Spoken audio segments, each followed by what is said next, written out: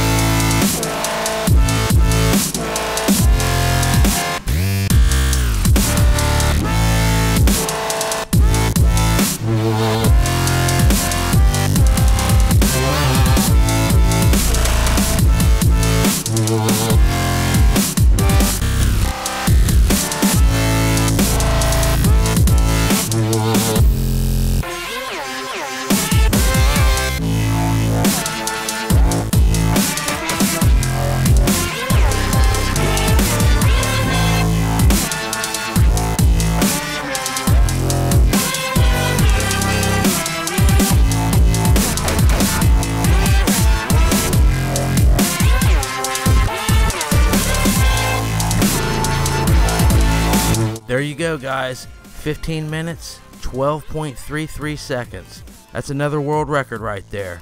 This is the current fastest time to all perks on YouTube, so I hope that you enjoyed this. If you guys like what you see here on this channel, don't forget to hit that like button and subscribe to get all the latest videos that I got on the way. If you guys have any games that you want me to premiere on this channel, leave them in the comments section or send me a direct message. Thank you guys for watching, and I will see you on the next Killer Game Shit.